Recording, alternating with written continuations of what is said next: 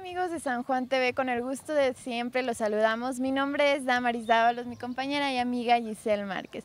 Y en esta ocasión nos encontramos en el municipio de Mezquitic de la Magdalena y nos encontramos en el barrio de Guadalupe. Seguramente muchos no habían escuchado de este barrio y bueno, pues vamos a presentárselos y vamos a conocerlo. Durante todo este programa vamos a platicar con gente de aquí del barrio para ver cómo se vive aquí y vamos a platicar del valor de este mes que es la caridad, una de las tres virtudes teologales de la Iglesia Católica. Vamos para allá.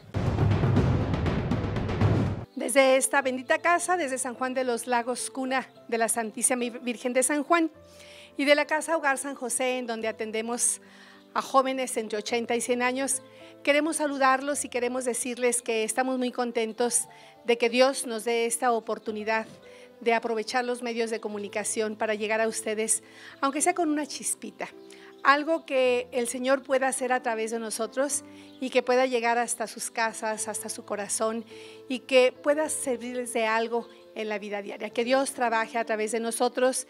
Y bueno, pues queremos compartir en este día, como en las veces anteriores, esta pequeña cápsula de un valor virtud que creo que es la mayor de todas, que es la virtud de la caridad, la virtud del amor, la virtud de todo aquello que encierra todas las demás virtudes. Habíamos visto en cierto momento que no podemos soltar de la mano una virtud de la otra porque todas van eh, encadenadas y al vivir una vivimos la otra o al vivir dos vivimos otra. Pero al, ver la virtud de la caridad vemos que es la virtud que va a tomar de la mano a todas las demás que es la virtud más grande porque es la esencia del amor de Dios.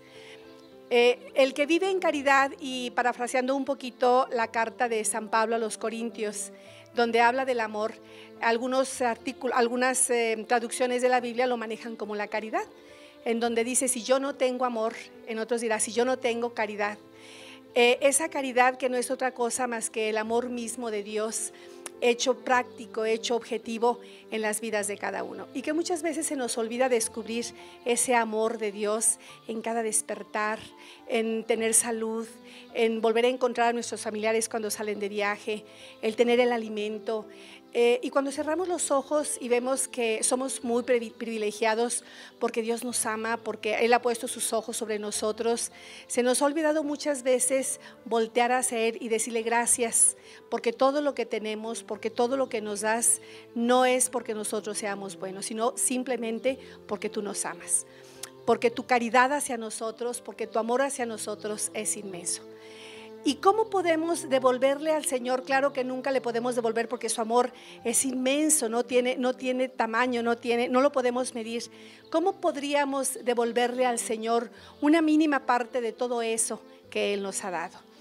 Eh, muchos generalmente hemos comentado un poquito ese mundo tan convulsionado en el que vivimos, ese mundo tan carrereado, en donde tenemos muchas ocupaciones, vivimos ya de la tecnología, eh, muchos de nuestros jóvenes, aunque no todos, pasan parte de su vida metidos en aparatos electrónicos que les está acabando la vida, como son los cells, como son las computadoras, todo esto, y que mucho de sus vidas se les está yendo en este tipo de cosas y se les está pasando la vida sin abrir los ojos y darse cuenta de todo lo que Dios nos da. El simple hecho de amanecer es el regalo más grande, el regalo de la vida.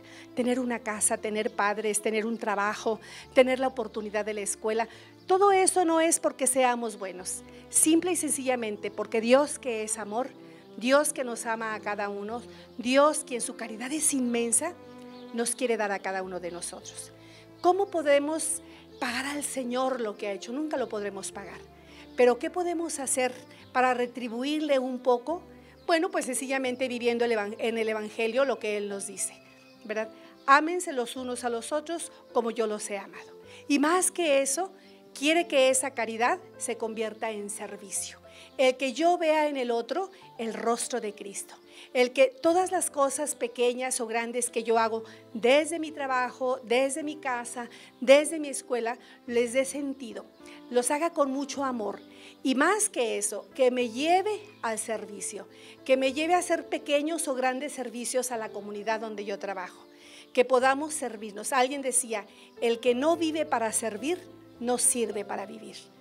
Esa caridad que Dios quiere que nosotros en cierta manera le retribuyamos un poco al amor que Él nos tiene, es el amor hacia los otros, hacia Él, traducido en servicio, en amabilidad, en cariño, en hacer ambientes sanos, en hacer ambientes buenos y vivir simple y sencillamente en el amor, porque Dios es la esencia del amor. Y que muchas veces una invitación que yo les hago le pedimos, Señor, enséñame a amarte. Yo les diría, mejor digámosle al Señor, Señor, déjanos amar de ti. Déjanos sentir tu caridad y tu amor sobre nosotros, para que nosotros a su vez podamos ser caridad y amor para aquellos a los que tú me has puesto bajo mi cuidado o en mis manos.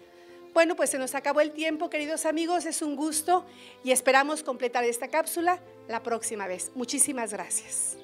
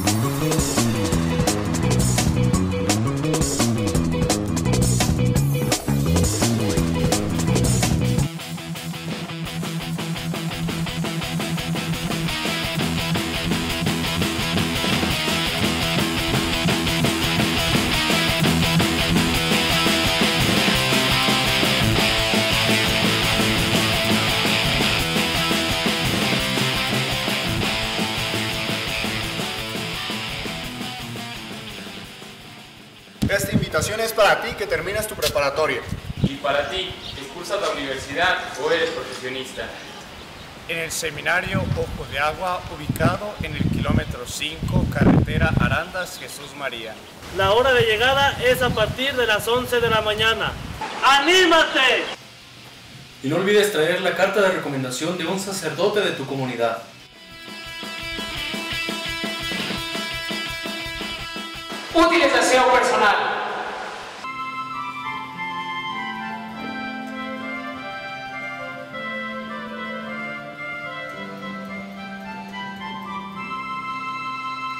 Y no olvides traer Biblia, cuaderno y pluma. ¡Ropa de cama! Y de deporte. Si tienes alguna duda, llámanos. El número es 348-783-1460. ¡Si te late,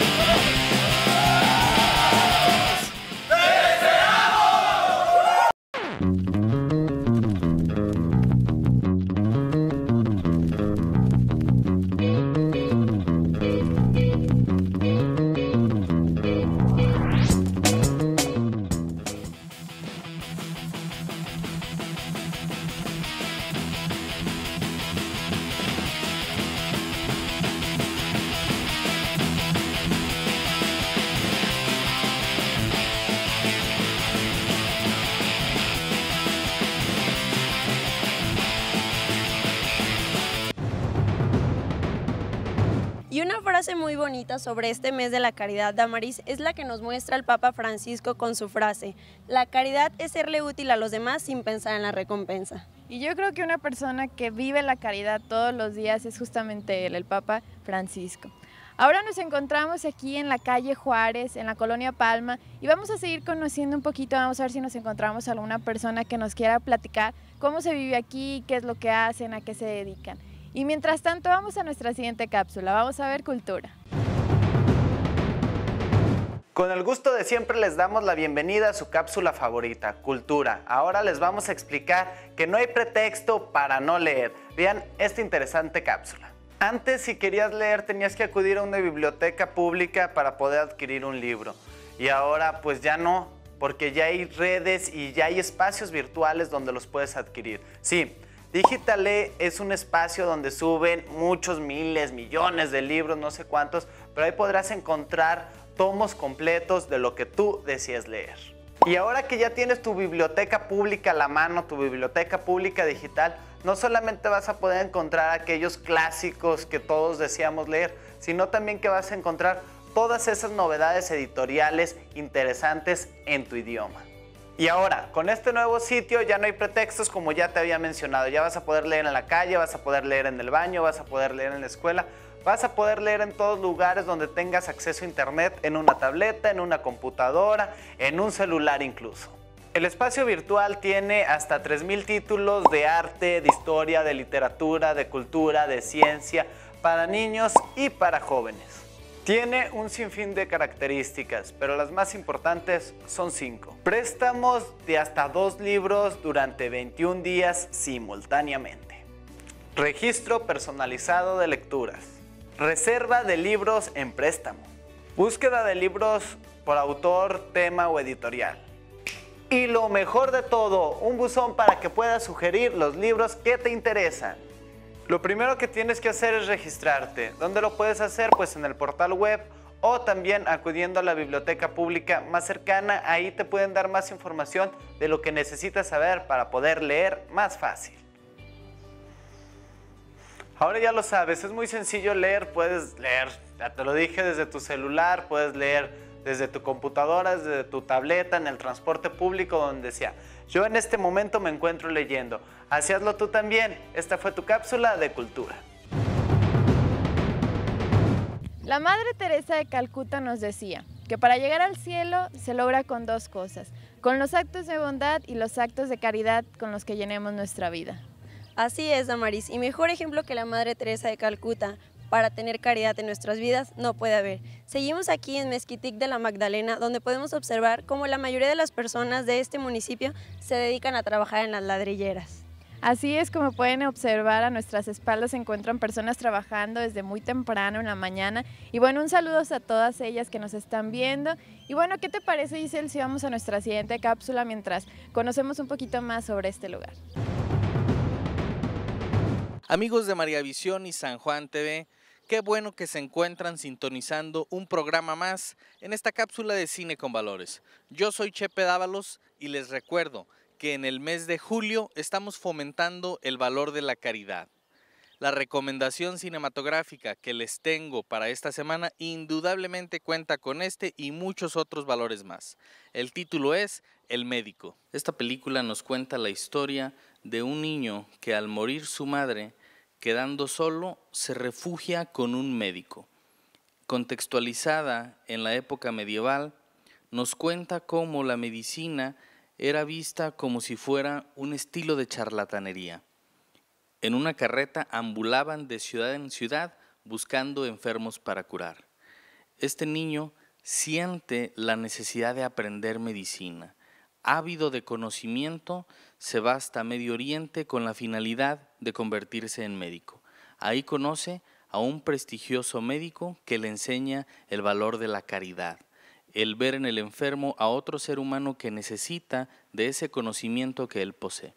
Le transmite la sabiduría con la única y exclusiva finalidad de que cure a los demás, sin el fin de lucro.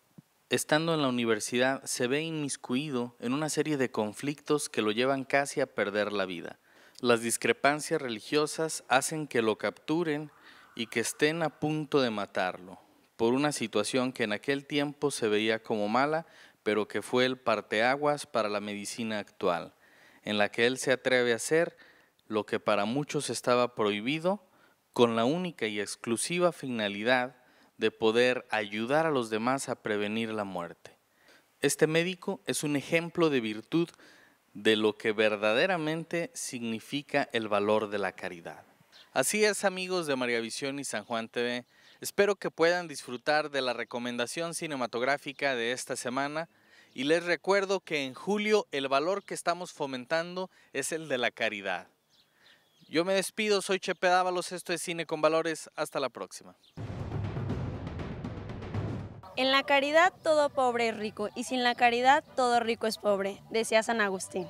Así es, Giselle, y es como los actos de caridad lo que nos definen, todos los días. ¿Ustedes cuándo fue la última vez que hicieron un acto de caridad? Esto se los dejamos de tarea mientras vamos a nuestra siguiente cápsula.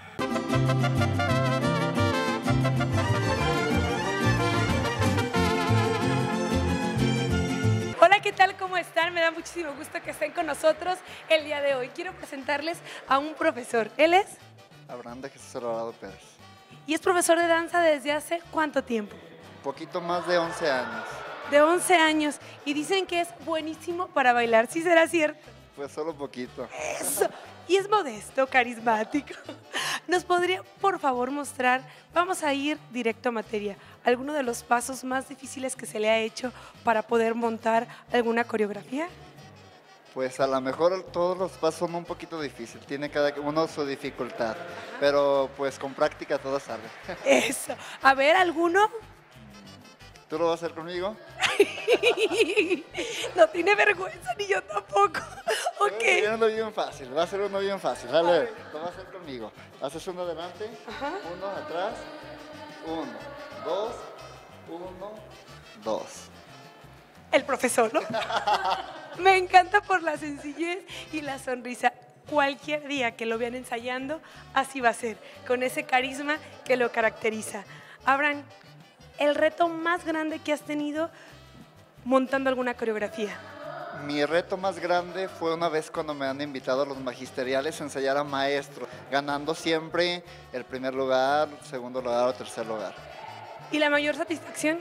La mayor satisfacción fue cuando me invitaron a Vallarta, Puerto Vallarta, y hace un año que me dieron una canción a montar. Oye, con la canción me tocó ver un poquito de cerca y todos estaban como niños emocionados porque es una canción de nuestra tierra, es una canción de San Juan y se cantó, se bailó, se montó toda la coreografía en la plaza, en lugares pues de San Juan. Mejor en vez de platicarles, ¿me dejas mostrárselas? Claro que sí. Ay, mi San Juan de los Lagos.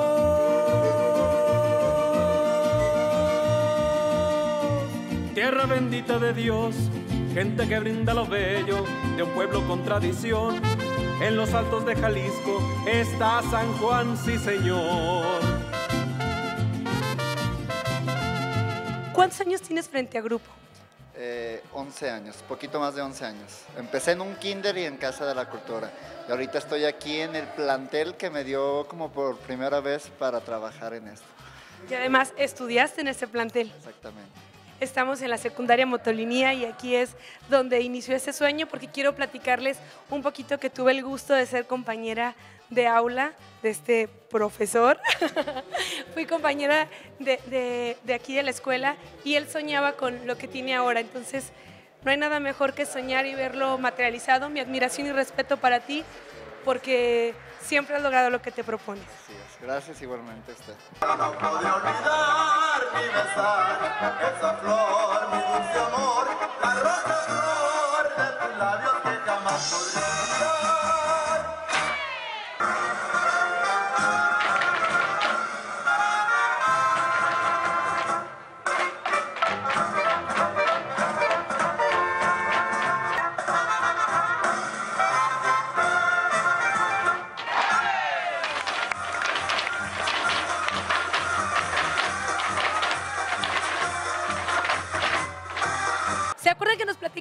magisteriales? Pues ellos fueron alumnos de los magisteriales y bueno, todo un reto.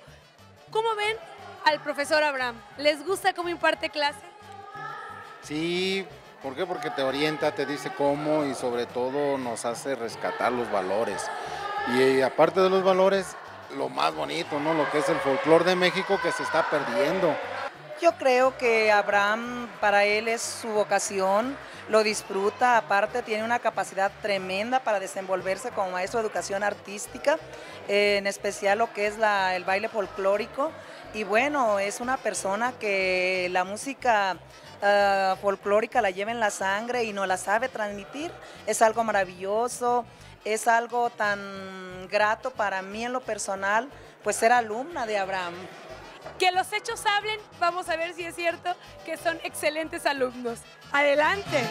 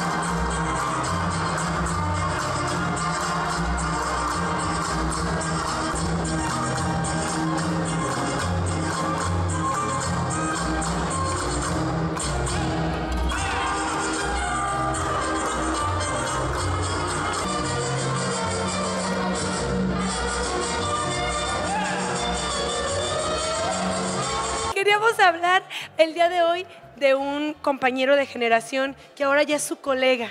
Ay, sí, me dio mucho gusto invitarlo a- aquí a, a venir a trabajar.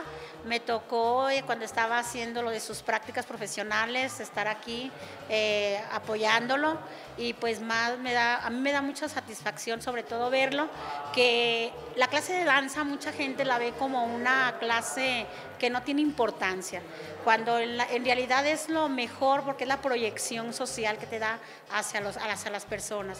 Y sobre todo el folclore, a nosotros nos gusta mucho el folclore, pero la danza no es solamente el folclore, es todo tipo de danza. A mí Abraham me da un orgullo verlo y sobre todo verlo que ya está realizado profesionalmente y digo, wow. ¿Y sabe qué es lo mejor? Que su granito de arena que, que ha dejado en cada alumno, Abraham es un fruto de ello, porque el amor con el que también usted imparte su clase quiere decir que una generación ahora ya es su colega. Yo cuando quise decidir, o sea, decidir retirarme de esto, de danza, pues fueron motivos de salud, más que nada. Y yo quería que quedara la escuela, los alumnos de esta institución en buenas manos. Y creo que pues habrán, son, son buenas manos. Y ojalá y que así como él se proyectó y que de alguna manera vio, pues yo pienso que si siguió eh, lo que es danza, es porque realmente le, le gustó desde que estaba aquí. Esto fueron sus raíces, vamos pensando en eso, la semillita. Y pues verlo realizado ahorita ya, me- pues me, ¿qué te diré? Me, llena de orgullo.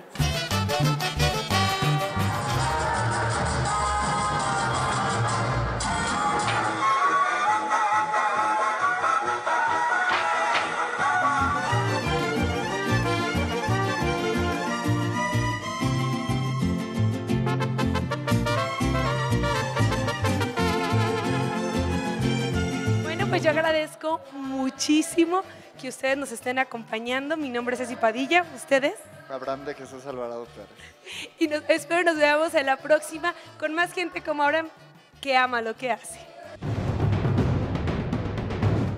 Santo Tomás coincidía con la filosofía de la Madre Teresa de Calcuta, que decía que cada acto de caridad era un escalón más al cielo. Así es, Damaris, que en nuestra vida cotidiana debemos de seguir haciendo obras de caridad hacia el prójimo. Seguimos aquí en el barrio de Guadalupe, donde se ve todo súper tranquilo y ahora vamos a esta excelente recomendación por parte de Biblioteca. Vamos con ellos. Yo soy el profesor Miguel de Alba Elguera y trabajo en la secundaria técnica, además de, de laborar aquí en la biblioteca. Eh, hoy me toca eh, recomendarles un libro. Ese libro se trata acerca de eh, unos anécdotas de indios. El libro se le conoce como El Diosero y su autor es eh, Francisco Rojas. Aquí lo tengo en la mano. Es el famoso Diosero. Aquí en la biblioteca contamos con dos o tres libros como este, por si alguna persona se interesa en leerlo. Eh, pues, ¿qué les diré? Les voy a contar una breve reseña acerca de El Diosero. Esta reseña eh, nos dice de que el autor anduvo por el caminos de México descubriendo cosas eh, de los indígenas y muchas de las cosas que descubrió o leyendas o anécdotas fueron una de ellas se llama la tona. En la tona es eh, el conocimiento de una región de México en el cual una madre que va a tener a su bebé eh, tienen una leyenda muy bonita, que es que en su casa, eh, cuando nace el bebé, el primer animalito que plante sus huellas afuera de la casa, eh, ese animalito va a ser como su tona, o sea, va a ser como su segundo nombre del bebé. En este caso, como la madre tenía un parto muy difícil y la partera no pudo atenderla como era debido. Entonces el indio se desesperó, se encontró a otro indio, el esposo de la india, y fueron a buscar a un doctor. El doctor les dijo que sí, con mucho gusto los atendía y se lo trajo a su casa. Resulta que el doctor sí logró que, el bebé naciera. El bebé venía de, Pompis. Entonces eh, el doctor lo acomodó y al acomodarlo, eh, pues logró que naciera. Entonces, ¿cuál fue la sorpresa del doctor? Que el indio empezó a quemar eh, algo de comida y con la ceniza la regó alrededor de la, de la casa. Entonces, en esa casa la primera huella que se encuentre, ese es el tona del, indio, del indio pequeño. Y el doctor, como no tenía vehículo, era un, lugar de difícil acceso, pues el único vehículo que tenía era una bicicleta.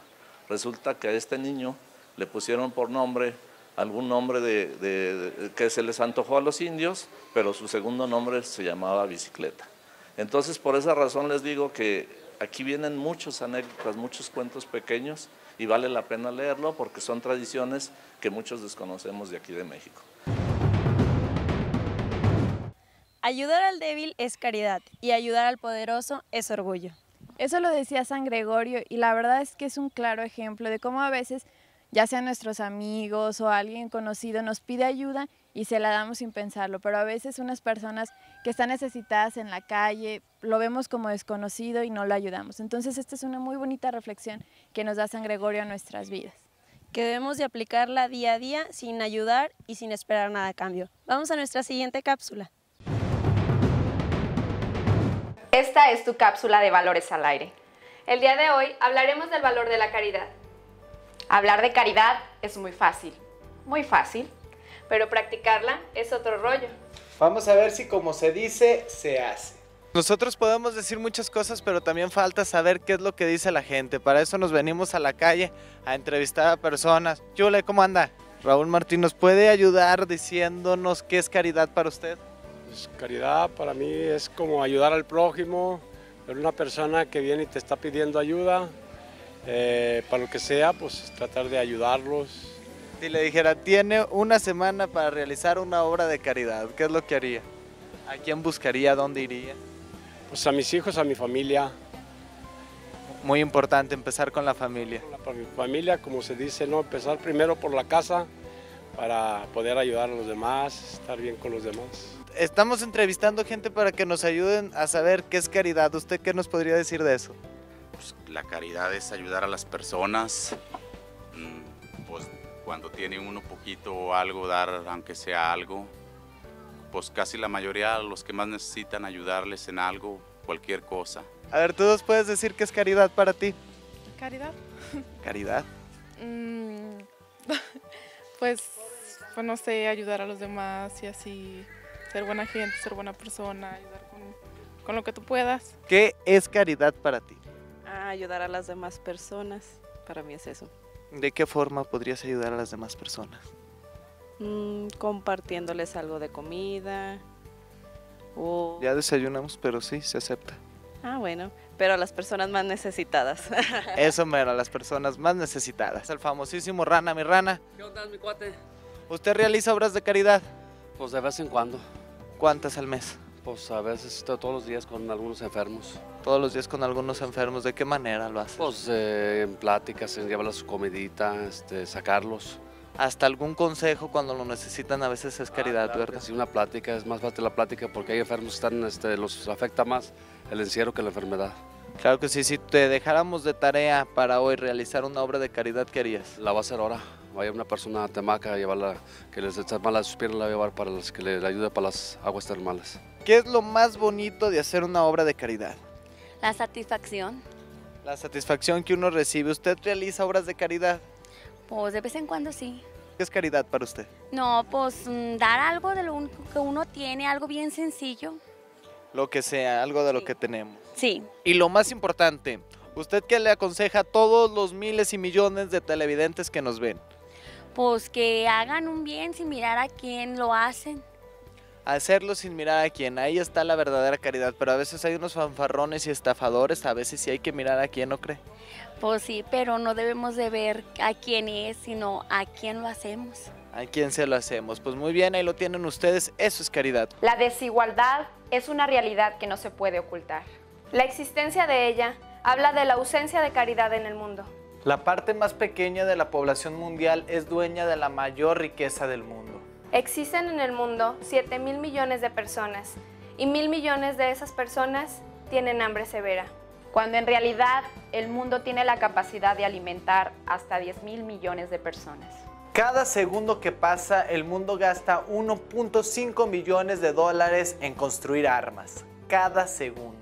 Y cuesta alrededor de 6 pesos por día dar a un niño los nutrientes necesarios para vivir. El valor de la caridad nace de la palabra de Jesús.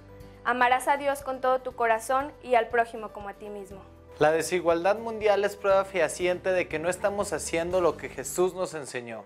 Empecemos por nuestras casas y familiares, compañeros de escuela o de trabajo. A veces es más fácil tirar la comida que dar lo que sirve al prójimo, esto por pura comodidad. Intenta realizar una obra de caridad permanentemente cada semana. Ella es Mayra, el Estavo, yo soy Karen. Esto es su cápsula de valores al aire por San Juan TV. Donde se practica la caridad, reina la felicidad. Con esta frase siempre San Juan Bosco nos decía que si tú haces una obra de caridad día a día, tu día será mejor. Así es, yo pienso, Giselle, que cuando ayudas a los demás, te ayudas a ti mismo y aprendes muchísimas cosas. Y es por eso que también la caridad es la chispa de vivir mejor. Vamos a ver nuestra siguiente cápsula. Hola, ¿qué tal amigos televidentes? ¿Cómo están? Espero que estén muy bien. Pues bienvenidos a este su programa de San Juan TV. Hoy estaremos hablando sobre el valor de la caridad, que sin duda es un valor que aunque comience en casa, también no termina ahí, sino que hay que aplicarlo a donde quiera que vayamos y donde quiera que estemos. Hoy está con nosotros la psicóloga Fabiola de Alba para hablar sobre este tema. En esta ocasión hablaré acerca de la caridad y lo iniciaré platicándoles una pequeña historia, titulada La caridad, camino del cielo. Había una vez un señor que tenía tres hijos. Él era tan pobre, tan pobre, que un día reunió a los tres y les dijo, hijos míos, como ustedes ven, no tenemos muchos recursos para salir adelante, por lo que me veo en la necesidad, con todo el dolor de mi corazón, de pedirles que cada uno se encargue de obtener su sustento. Al terminar de hablar el Señor, se fueron a acostar, esperando que llegara el amanecer. Al día siguiente, al primero de ellos, el Señor le entregó la torta más grande. Fue el mayor de ellos el que se levantó primero y entonces se despide del Padre y empieza a caminar. El siguiente en levantarse fue el segundo de sus hijos, a él le entrega la torta mediana, se despide de él. El tercero de ellos en levantarse fue el pequeño. Por lo tanto, le tocó a él la torta más pequeña. Antes de que cada hijo se despidiera, el padre les había hecho una recomendación y les dijo, hijos míos, no olviden ser buenos y tomar siempre el camino de la caridad. Así a cada uno le hizo esa recomendación. Salieron los hijos, cada uno en su momento, y entonces el primero de ellos, el mayor, se encuentra a una mujer. Tal vez esa mujer sepa cuál es el camino del cielo. Se regresa y le pregunta, oye mujer, ¿me podrías decir, por favor, cuál es el camino del cielo? Y entonces ella le dice, sí, claro, vas a seguir caminando por un buen rato y al final encontrarás tres caminos, el de la derecha, el de en medio y el de la izquierda. Cuando llegues allí, toma el camino de la izquierda. Al final encontrarás una puerta roja. Ahí deberás tocar. Este hijo mayor que tomó ese camino se va sin descanso, sigue caminando y caminando. Después de un rato, el hijo mediano en su camino encuentra nuevamente a esta mujer y ella le pide también que le comparta un pedacito de su torta. Él le dice, con gusto lo haría, solo que si te comparto, no temo que no me alcanzará para todo lo que yo quiero y debo caminar. Sigue adelante, después de un rato dice, tal vez esa mujer sepa cuál es el camino del cielo. Se regresa y le pregunta.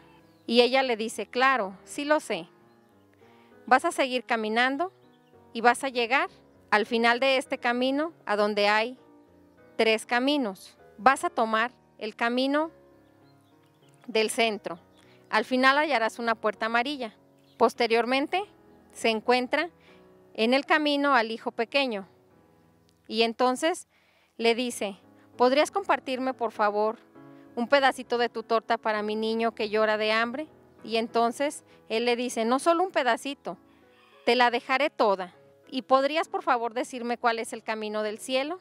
Y entonces ella le dice, por supuesto, al final de este camino encontrarás otros tres. Toma el camino de la derecha. Al terminar ese camino encontrarás una puerta blanca. Ese es el lugar que mereces. Sigue caminando hasta que llega a la puerta blanca. Al final cada uno llegó a las puertas que les correspondían. El primero de ellos, que llegó a la puerta roja, al tocar, se abre la puerta y se oye un montón de gritos y unos demonios encendidos en llamas llegan por él y lo jalan hacia adentro. El segundo, que llegó a la puerta amarilla, al tocar la puerta empieza a sentir mucho, mucho frío. Al sentir todo este frío, se da cuenta de que ha llegado al purgatorio. El tercero de ellos, al abrirse la puerta blanca, es recibido por la mujer y por el niño, que era la Virgen María y el niño Jesús. Se oye el cántico de los ángeles y él entonces, recibido con abrazos y besos de parte de la Virgen y del niño, empieza a cantar también de felicidad. El mejor camino hacia el cielo es entonces el camino de la caridad. Pues ya escuchamos esta historia que nos narra Fabiola y que sin duda pues es una historia que siempre nos va a dejar tarea así como en los demás valores.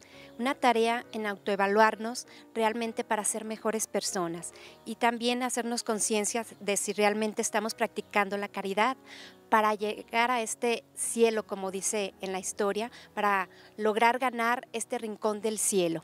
Y yo creo que donde reina la caridad, ahí está la felicidad. Me despido, que Dios los bendiga y hasta la próxima. La caridad es un valor que se empieza a practicar desde casa, desde la escuela, es más, desde ti mismo. Si no tienes caridad para tu persona, si no te cuidas, si no te amas, no puedes dar lo que no tienes. Entonces es un trabajo que se debe hacer en todos los actos de tu vida. Así es, Damaris. Y si cada uno empezamos con la caridad desde nuestra persona, el mundo sería mejor. Vamos a nuestra siguiente cápsula, Piedad Mariana.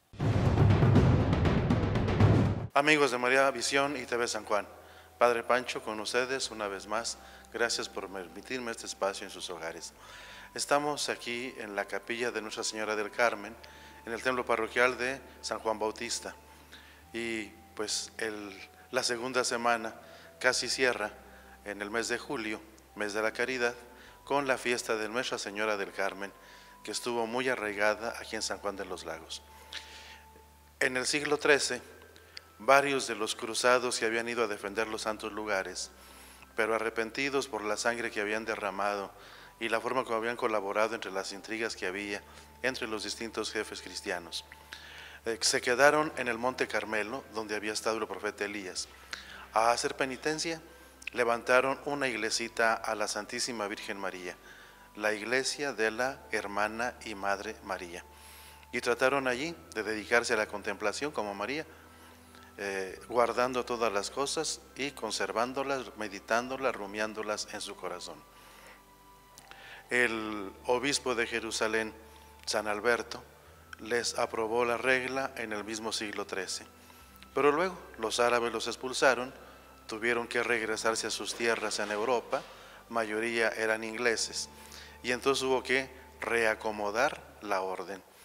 Es allí cuando viene el prodigio de la aparición a San Simón Stock, su provincial, en Inglaterra, ofreciéndole el escapulario y a partir de la difusión del escapulario, eh, una forma de difusión por toda Europa eh, de la cofradía de Nuestra Señora del Carmen.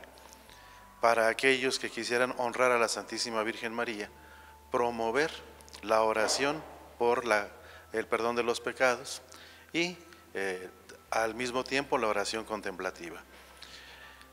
Y la orden, que entonces se difundió también con una tercera orden, es decir, para seglares. Había sacerdotes, había religiosos, religiosas y había también seglares que quisieran participar de ese mismo espíritu de la orden. Pero, sin duda, pues, de aquellos eremitas que había en el Monte Carmelo a los que ya podía haber en Europa, había mucha diferencia. Y es por eso que en el siglo XVI, Santa Teresa de Ávila en España, junto con San Juan de la Cruz, se dieron a la difícil tarea de reformar el Carmelo. Y nacieron así los carmelitas descalzos, volver al rigor de su primitiva eh, regla con de veras una vida de pobreza, vida de comunidad, oración en comunidad, fomentar el estilo de oración contemplativa, y es ahí donde es la oración teresiana, un poco por la línea afectiva, y ese es su carisma. Aquí a San Juan de los Lagos llega a inicios del siglo XX, muy promovida por el señor cura Hernández, de manera que pues eran eh, una fiesta cada sábado primero cada domingo tercero de sus reuniones y cada día 16 en cada mes una procesión con la imagen por la iglesita, entonces no tenía tres naves, una sola, aquí por la iglesita, por su atrio. Eh, no se diga el gran novenario solemne en honor de Nuestra Señora del Carmen, no se diga la serie de promoción del escapulario del Carmen que se hacía. Con el tiempo pues fueron cambiando las situaciones, sobre todo cuando en los años 80 eh, se insistió en la formación de quienes pertenecían a la Orden Seglar del Carmelo Descalzo y que se les pidió formación. Tenían que subsanar la formación que no habían llevado. Y entonces pues eso hizo que muchas se retiraran, eh, ya no interesara ese estilo a otros jóvenes y bueno, pues hoy la orden cuenta con muy pocos, la fiesta se redujo solamente a tres días, prácticamente solamente el último día es cuando se saca la imagen. Pero los ideales por los cuales se luchaba, ahí están. El escapulario es color marrón, color marrón.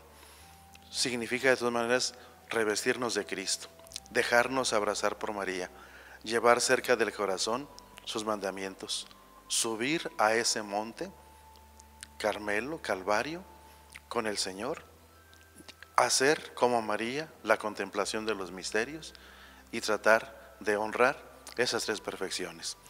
Los que son cofrados ya saben que los miércoles y los sábados deben honrar especialmente a la Santísima Virgen María con una oración de preferencia, algo de la liturgia de las horas.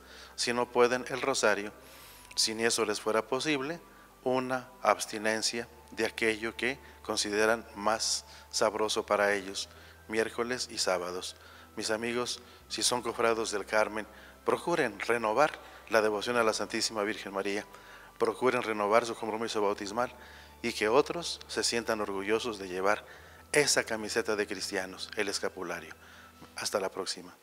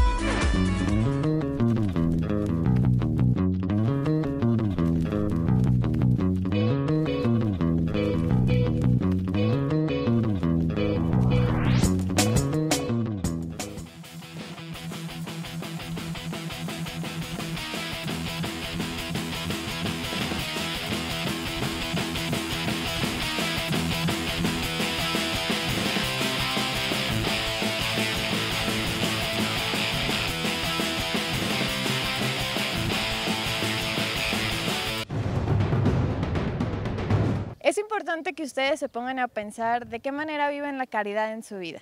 Y bueno, también al pensar ustedes, también nosotros nos preguntamos, pues cómo vivimos la caridad. A ver, Giselle, platícanos, ¿tú cómo vives la caridad? Yo creo, Damaris, que la mejor manera de demostrar la caridad o de practicarla en mi persona es dándole catecismo a todos esos pequeños y pues ayudar a las personas que más lo necesitan. ¿Tú? Yo creo que estar aquí en San Juan TV, bueno, pues es un acto de caridad, ya que nosotros estamos aquí para enseñarles un poquito de los valores que a lo mejor se pueden vivir en nuestra vida. Y ya sea que a una persona se le quede algo de lo que nosotros decimos, pues ya, ya con eso nos damos por, por servidas. Y así es, Damaris, es momento de poner en práctica cada uno alguna obra de caridad. Vamos a nuestra siguiente cápsula, Mi San Juan en la historia.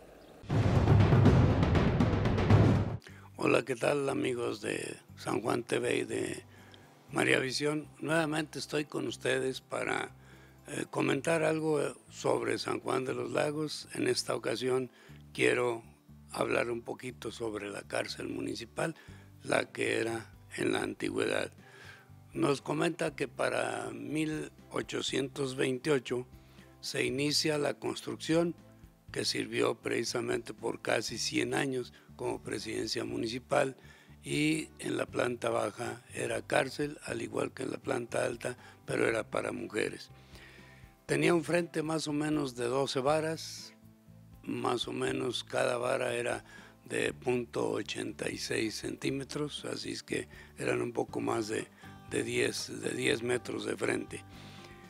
Era de pura cantera, con una planta principal en la parte de abajo y este, su puerta principal y hacia los lados unas ventanas y un balcón continuo, o sea, era completamente corrido, no era fraccionado, también con su puerta y sus ventanas.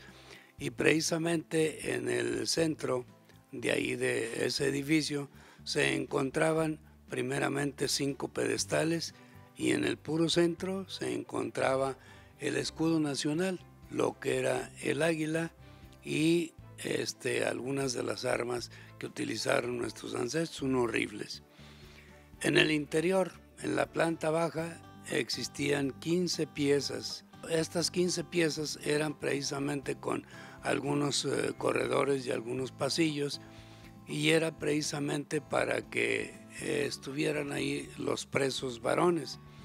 En el fondo, hacia el lado contrario de lo que es ahorita eh, la parte del frente que daba precisamente a la plaza principal, hacia la parte que corresponde ahí en lo que es ahora la Casa de la Cultura, un poquito lo que es más bien ahorita el pasaje Pedro, Pedro Moreno, se encontraba ahí precisamente la, la cárcel y la presidencia en la planta alta. En estos patios y en estos lugares era donde se atendía a todos los presos y les decía, en la parte del fondo esto daba a la calle Independencia. En la planta alta era la cárcel de mujeres y había una sala bastante grande con una azotehuela y una cocina. En la planta baja existía un letrero que decía como cosa curiosa, horror al crimen, compasión al delincuente.